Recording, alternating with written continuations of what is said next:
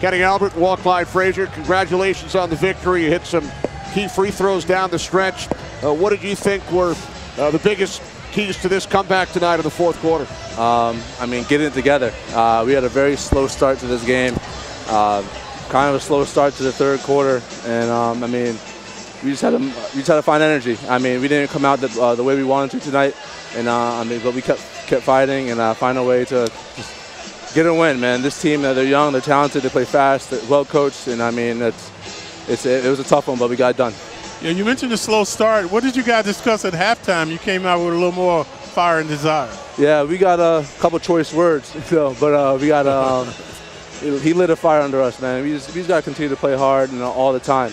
You know, when we have uh, wins against uh, teams teams that have higher seeds, you know, we can't just take these teams lightly.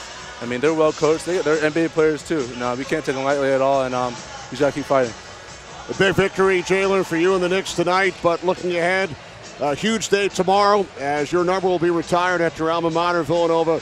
Uh, now that you have this game behind you, how exciting uh, do you expect tomorrow to be?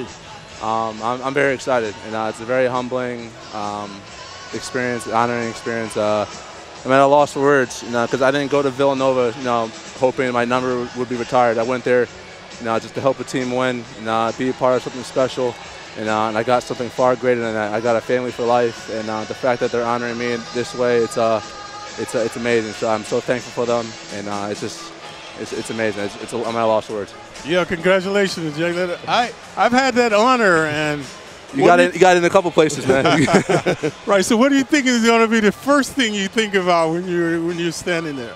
Um, trying not to be emotional. Uh, I, I, I just Villanova has my heart, and um, I always you know, talk a big game and uh, be try not to be as uh, emotional when I'm playing or doing anything. But and in those moments, uh, they're very touching, and uh, I just do my best to hold it all in. Sluggish, grind out games. Just talk about the challenge of, of competing in one of these.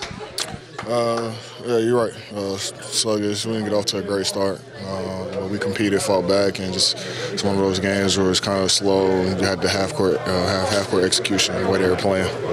Jalen said in the uh, post game uh, interview with Kenny and Clyde that coach had some choice words at halftime. What were some of the adjustments, and what did he have to say at halftime? Uh, we just weren't. We didn't have any game plan discipline, so um, that was just really what it was. We didn't execute what we were supposed to do offensively or defensively, and uh, he got us going, and we came out and did a better job in the second half. How big was the rebounding down the stretch and knocking down free throws? Uh, huge, huge. Um, you know, um, basically that's what the game came down to in the end.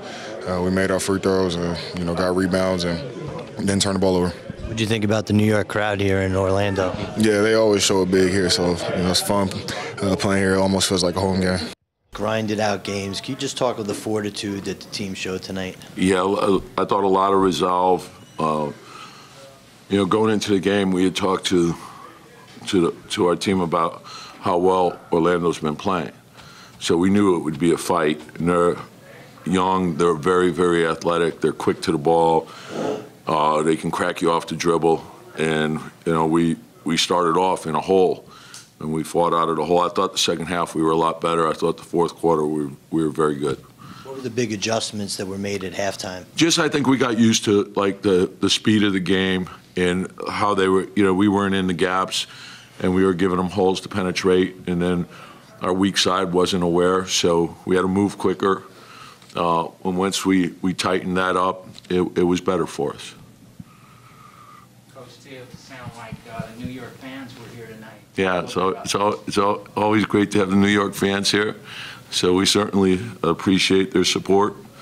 Um, I thought that helped bring energy to the game for us the rebounds you guys came up with late, Sims on the offensive glass, and then Julius the last one on the yeah. missed free throw. Yeah, yeah, and in traffic, you know, and I thought uh, Julius and and uh, uh, Jalen set the tone in the fourth quarter, and just the way we closed, and big rebounds, physicality, hustle plays. Um, then we had a number of guys, you know, make timely plays. I thought that the offensive rebounding by Jericho was huge for us. Uh, and then, uh, you know, they were aggressive with Jalen, blitzing him. And once we got off the ball and we, and, and we got to the second pass, good things came from that. Coach RJ struggled in the first half, but he hit some big threes. You talked just a little bit about how sometimes it may not be going for him, but he, he's Yeah. always just fighting through it. Yeah, just work, work the game. Work the game. It's a long game, so if things aren't going your way early, oftentimes it's a hustle play. It's something that can get you going, and it turns, and it did. And so help us with your defense, run the floor, move without the ball, and you'll find rhythm in the game. And I think we made a number of good plays, I thought, in, early in the game where we missed shots, too. And we probably passed up some open shots. I, I want to take a look at the film, but I thought we had some good situations in which there was movement, penetration, uh, a kick out, and then we should have shot that and we put it down again and, and drove into traffic. So if we're open, we got to shoot. We got to shoot. This team's making a, a knack out of close games coming down to the wire. Just how they're learning from each game and you know advancing on that. Yeah, I think that it's important. I, I think you, you, you look at the league, I think it's league wide. Uh, and each day, learn, grow, get better. And if the process is good, you'll continue to improve. And I think we have a lot of young guys that are, are learning. This is the first time in these situations. So you want to learn and grow. And just, and again, and the best thing about the league is you get challenged each and every day. So each day is new. You start at zero, and then you got to earn everything you get. So we know tomorrow's a, a travel day. Then we're going into Philly. We just played them. We know how good they are. And we're going to have to be ready. We're going to have to put the work into that game. Winning tonight will have nothing to do with that game uh, in, in our next game. And then, coach, you've uh, the team was fouling down the stretch. Is that a matter of just knock down your free throws? This game's over. Yeah, you know, you- you're going to, you know, teams are going to play the foul game, and uh, so you got to be step up and make, and uh, you know that's part of it. You know, uh, all these these guys work on free throws every day. You know, and we know we're more than capable. Get up there, shoot them well. Coach, talk a little bit about the rookie for Orlando Magic, what you're seeing in him. Uh, you know, I think just uh, the way he works the game, he- he's got the strength already to deal with the league. I think he has a good feel. He's crafty, he's shifty with the ball too. You, it's hard to get like a, a good read on him, and if he has any seams, he he gets in there. I think uh, as time goes on, he'll you, you, like with most guys coming in, getting used to the three-point line is a little bit of adjustment because it's different than college you know. But uh, no, I love his game. I loved him at Duke and the, just the way he plays. He's got a great demeanor. I think uh, Wagner's a terrific talent as well. They complement each other extremely well. And it's you know we're talking about Fultz and the way he's you know grown and the way he's playing. Uh, this team is playing really really well. I know you always say that these are questions for Leon, but you guys it are- is a question you for guys, Leon. You guys, So- you guys are heading into the trade deadline on, on Thursday. How comfortable are you with this roster? The way Oh, I love our right now? team. I love our team. And that's, look, the Leon's job, and you see it, it's league wide right now, things heat up, and that's his job, is to listen to people, to talk, to see what's going on in the league. And he's, he he and his staff are always thinking about, you know, the possibilities and can we improve the team. That's his job. He's responsible for that. Uh, but we love our team. It has, to, you know, like if something were to happen, it, it would have to be something he felt very strongly about that would improve the club.